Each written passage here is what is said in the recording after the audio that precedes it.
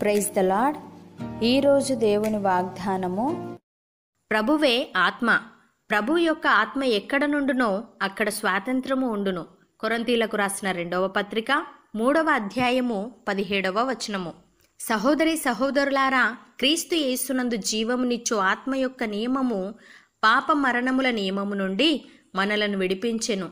ఎట్లనగా ధర్మశాస్త్రము దేనిని చేయజాలకపోయెనో దానిని దేవుడు చేసెను.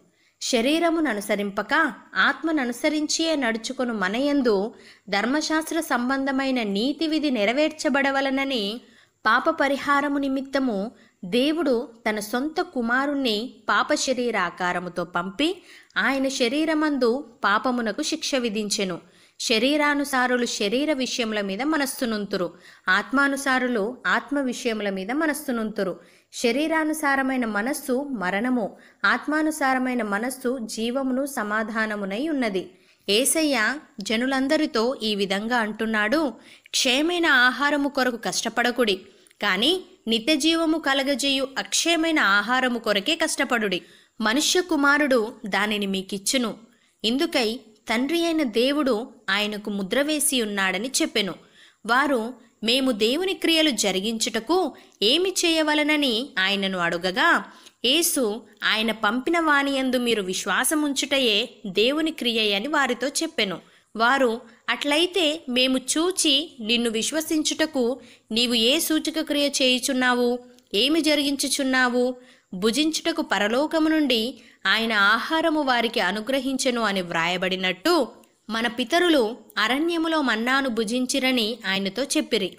కాబట్టి యేసు పరలోకము నుండి వచ్చు ఆహారము మోషే మీకు ఇయ్యలేదు నా తండ్రియే పరలోకము నుండి వచ్చు నిజమైన ఆహారము మీకు అనుగ్రహించుచున్నాడు పరలోకము నుండి దిగివచ్చి లోకమునకు జీవమునిచ్చినది దేవుడు అనుగ్రహించు ఆహారమై ఉన్నదని మీతో నిశ్చయముగా చెప్పుచున్నానని వారితో చెప్పెను. కావున వారు ప్రభువా ఈ ఆహారం ఎల్లప్పుడూ మాకు అనుగ్రహించమనిరి. అందుకు యేసు వారితో ఇట్లనెను. జీవాహారము నేనే నా యుద్ధకు వచ్చువాడు ఏ మాత్రమునో ఆకలిగొనడు నా ఎందు విశ్వాసముంచువాడు ఎప్పుడునూ దప్పిగొనడు అని. ప్రియులారా శరీర స్వభావము గలవారు దేవుణ్ణి సంతోషపరచనేరరు. దేవుని ఆత్మ మనలో నివసించి ఉన్న మనము ఆత్మ స్వభావము గలవారమే గాని శరీర స్వభావము గలవారము కాము. ఎవడైనను క్రీస్తు ఆత్మ లేనివాడైతే వాడాయనవాడు కాడు. క్రీస్తు మనలోనున్న ఎడల మన శరీరము పాప విషయమై మృతమైనది గాని మన ఆత్మ నీతి విషయమై జీవము కలిగి ఉన్నది. మనము దేవుని పిల్లలమని ఆత్మ తానే మన ఆత్మతో కూడా సాక్ష్యమిచ్చుచున్నాడు. మనము పిల్లలమైతే వారసులము అనగా దేవుని వారసులము. క్రీస్తుతో కూడా మహిమ పొందుటకు ఆయనతో శ్రమపడిన ఎడల క్రీస్తుతోడి వారసులము. అపోస్తులుడైన పౌలు ఈ విధంగా అంటున్నాడు నేను చెప్పున్నదేమనగా వారసుడు అన్నిటికిని కర్త అయ్యున్నను బాలుడై ఉన్నంత కాలము అతనికిని దాసునికిని ఏ భేదమునూ లేదు.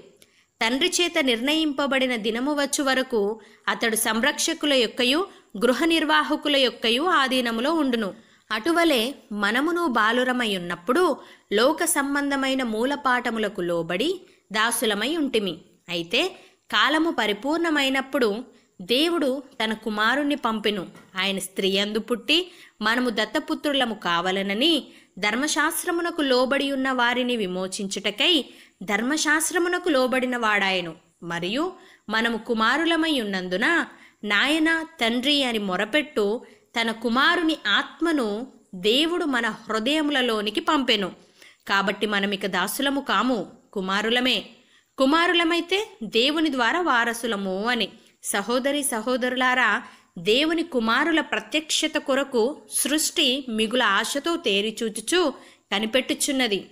ఏలయనగా సృష్టి నాశనమునకు లోనైన దాస్యములో నుండి విడిపింపబడి దేవుని పిల్లలు పొందబోవు మహిమగల స్వాతంత్రము పొందుదునను నిరీక్షణ కలదై స్వేచ్ఛగా కాక దానిని లోపరిచిన వాని మూలముగా వ్యర్థపరచబడెను.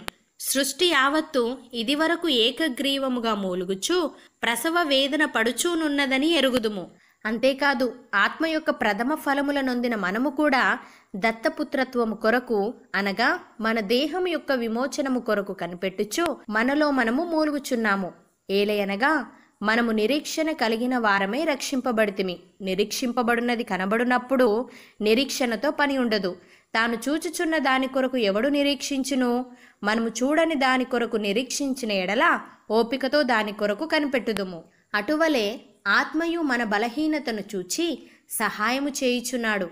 ఏలయనగా మనము యుక్తముగా ఏలాగు ప్రార్థన చేయవలెనో మనకు తెలియదు గాని ఉచ్చరింప శక్యము కాని మూలుగులతో ఆ ఆత్మ తానే మన పక్షముగా విజ్ఞాపనము చేయుచున్నాము. అవును అన్నవారు నాతో పాటు ప్రార్థనలో ఏకీభవించండి. పరిశుద్ధుడా ప్రేమగల తండ్రి పాపం యొక్క బానిసత్వము నుండి మమ్ములను విడిపించి నీ కుమారులుగా చేసుకున్నందుకు నీకు స్తోత్రములు.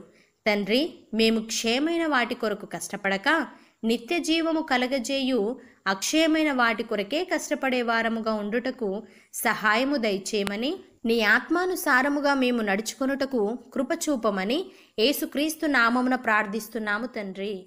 ఆమెన్.